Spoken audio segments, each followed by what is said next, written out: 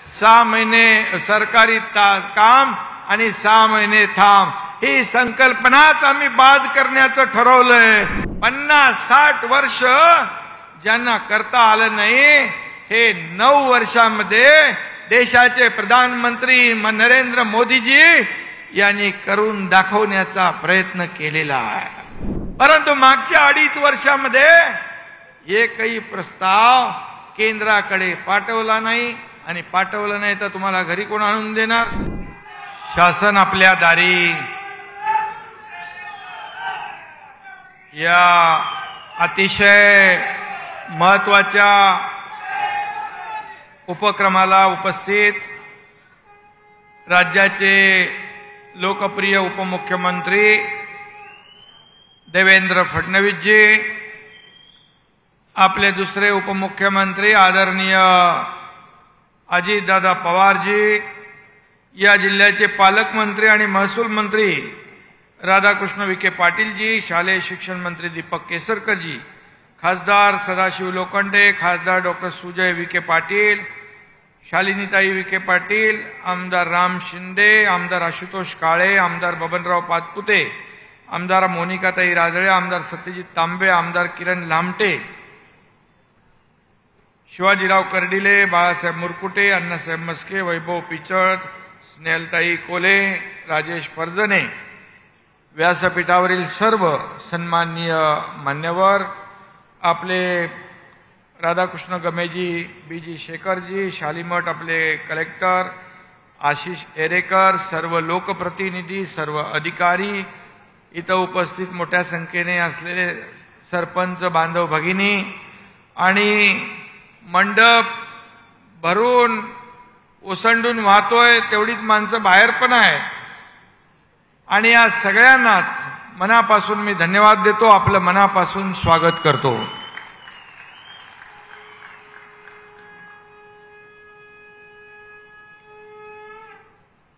आणि श्रद्धा आणि सबरीचा मंत्र देणारे साईबाबांच्या चरणी नतमस्तक होतो वंदन करतो.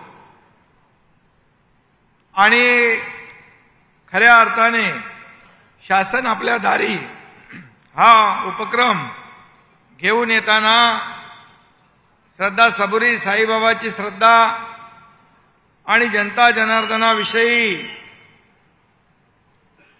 असलेली श्रद्धा आमच्या सर्व लोकांच्या मनामध्ये आम्ही घेऊन इथं आलेलो आहे. खरं म्हणजे यापूर्वी देखील शिर्डीला अनेक वेळा आम्ही आलो. आणि साईबाबांच्या पदस्पर्शाने पावन झालेली भूमी या भूमीवर नेहमीच मनामध्ये आपण लोकांचे सेवक आहोत या भावनेने चालू आणि आपल्याला माहीत आहे बाबांच्या दरबारामध्ये आलेला माणूस कोणी रिकाम्या हाताने खाली हाताने जात नाही. आणि मी जेव्हा मुख्यमंत्री म्हणून पहिल्यांदा साईबाबांकडे आलो तेव्हा एवढंच सांगितलं या राज्यातल्या सर्वसामान्यांसाठी गरिबांसाठी कष्टकऱ्यांसाठी शेतकऱ्यांसाठी वंचित शोषितांसाठी त्यांच्यावरचं अरिष्ट संकट दूर कर आणि त्यांची सेवा करण्याची शक्ती आणि बळ दे. आणि ते बळ आपल्या सरकारला या ठिकाणी आपण काम करत असताना मिळालेला आपण पाहतोय. त्याची प्रचिती येते आणि म्हणून शासन आपल्या दारी या उपक्रमाला खऱ्या म्हणजे जनता जनार्दनाचा हा एवढा असा मोठा प्रतिसाद प्रत्येक ठिकाणी लाभतोय. हा बारावा जनता दरबार आहे. आणि या बाराव्या जनता दरबारामध्ये आपण एवढ्या मोठ्या संख्येने उपस्थित झालात. त्याबद्दल मी पुन्हा एकदा आपल्याला मनापासून शुभेच्छा देतो धन्यवाद देतो. पत्रकार मित्रांनी देखील हे शेवटपर्यंत चित्र जे आहे शेवटचा माणूस दिसत नाही ते टिपावं आणि राज्याला हे दाखवावं. खरं म्हणजे एक कोटी चाळीस लाखापेक्षा जास्तीचे लाभार्थी या शासन आपल्या दारी या बाराव्या क्रम शासन आपल्या दारी या कार्यक्रमातून लाभार्थ्यांपर्यंत पोहोचलेला आहे. खरं म्हणजे हा कुठलाही राजकीय मेळावा नाही सभा नाही परंतु हा सर्वसामान्य माणसांचा हा कार्यक्रम आहे. त्यांना देण्यात येणाऱ्या लाभाचा कार्यक्रम आहे. खरं म्हणजे शासन अनेक निर्णय घेते अनेक योजना आपण जाहीर करतो परंतु सर्वसामान्य माणूस जेव्हा तो लाभ मिळवायला जातो तेव्हा अनेक चक्रा मारायला लागतात. त्याला खेटे मारायला लागतात. आणि एक मन आहे सहा महिने सरकारी तास काम आणि सहा महिने थांब. ही संकल्पनाच आम्ही बाद करण्याचं ठरवलंय. आणि म्हणूनच योजना लाभार्थी सगळे एकत्र या ठिकाणी दिसत आहेत खरं म्हणजे अधिकाऱ्यांना धन्यवाद दिले पाहिजे. सर्व अधिकारी आपल्या गावागावामध्ये नोंदी करतायत. त्या ठिकाणी लागणारी कागदपत्र देखील एका छताखाली. लाभ घेणाऱ्या व्यक्तीला जास्तीचा भा खेटे मारायला लावू लागता कामा नये चक्रा मारता माराव्या लागू नये.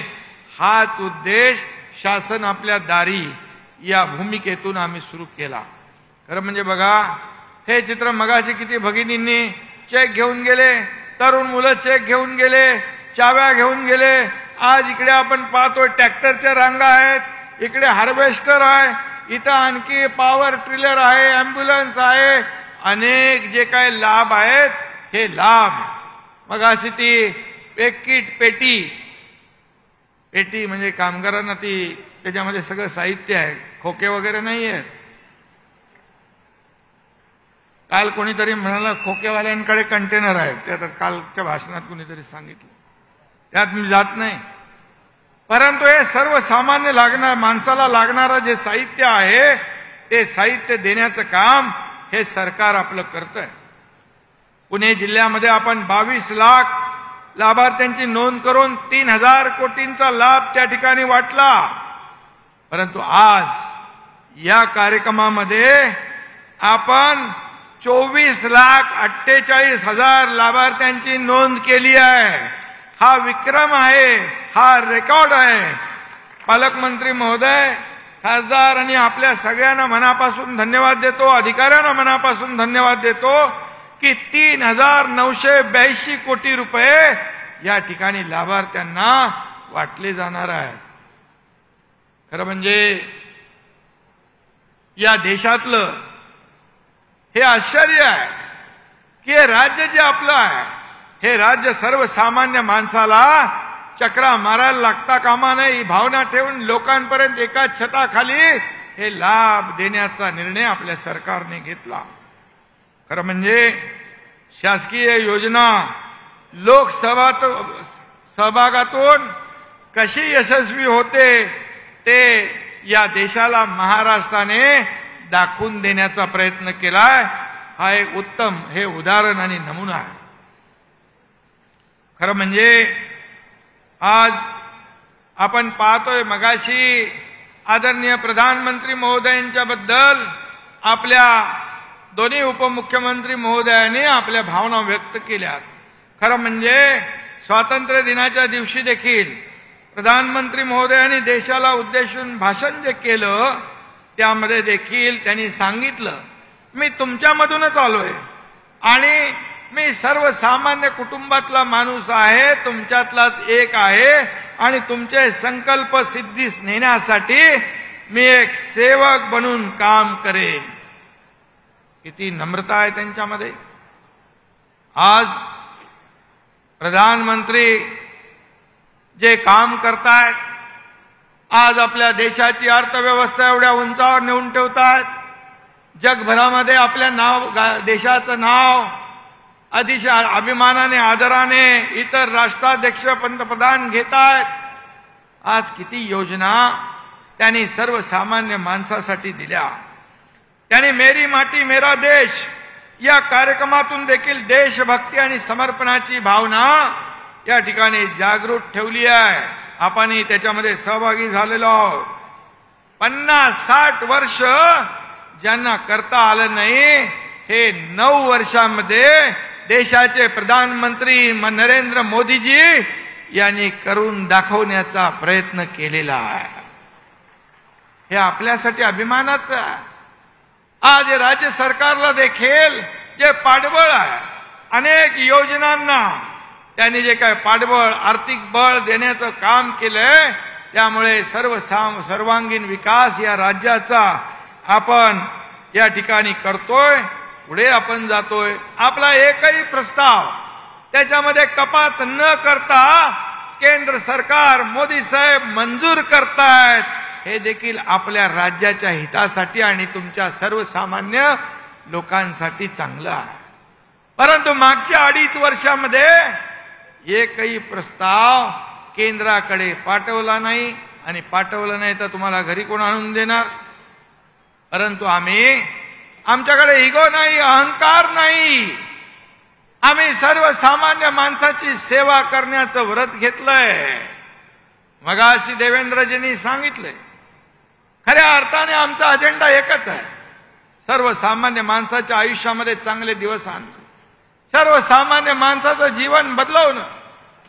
आणि या योजना त्यांच्यापर्यंत पोहोचवणं त्याचा लाभ त्यांना मिळाला पाहिजे ही भूमिका भावना ठेवून आज मी आणि आपले दोन्ही उपमुख्यमंत्री आपल्या राज्याचा विकास करण्यासाठी पूर्णपणे झोकून देऊन आपण काम करतोय.